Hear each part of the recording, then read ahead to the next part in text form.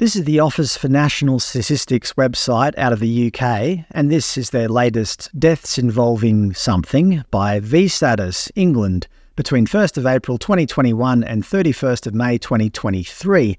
I apologise, I have to watch what I say because I often get into trouble just by mentioning these things. This data shows the age standardised mortality rates, meaning it is directly comparable but please note I cannot offer my interpretation. I can only show you the data and you can interpret it how you will. This is actually their final report ever. If you click on Correction and Notices and scroll down to the notice dated 25th of August, we will no longer be updating the Deaths by V Status Analysis England series. The last edition was published on 25th of August 2023 this publication was created during the Something to answer important questions around mortality by V status in a timely manner. So, yes, this is it. At least they published a lot more information than the Australian government ever did.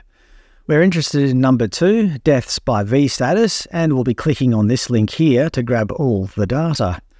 So, this is what the data looks like, but to make it easier to understand, I'll create some charts for us. This chart shows the monthly age standardised mortality rates, ASMR, per 100,000 from 2021 to May 2023 for all cause mortality, so traffic accidents, diseases, everything. The dark blue line represents the mortality of those who did not take any V.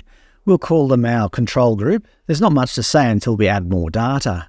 This is the mortality rate of those who took a single dose only at least 21 days ago. As I said, I'm not here to interpret the data. I can only say that this cohort of people have a higher overall mortality than the control group, noting that there can be confounding factors. Just as one example, people who took a single dose may have been older on average and in worse health than the control group, although that's just speculation on my part and not verifiable in this data. The point is, there can be confounding factors. This data also shows that the mortality rate started off quite high in 2021 and has steadily dropped off since then. The line in yellow shows the mortality rate of those who took two doses only at least six months ago.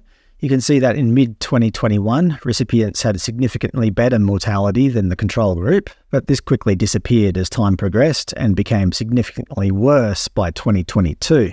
As with the other groups, the mortality rate has significantly fallen since then, although recipients continue to have higher all cause mortality than the control group, remembering there could be confounding factors. Shown in green is the all cause mortality for those who took three and only three doses at least 21 days ago, you can see at the beginning towards the end of 2021, they had significantly better mortality than the control group, but that quickly wore off and became worse than the control group, although this difference is only slight in recent months. The last dose they have data on is the fourth dose, shown in brown.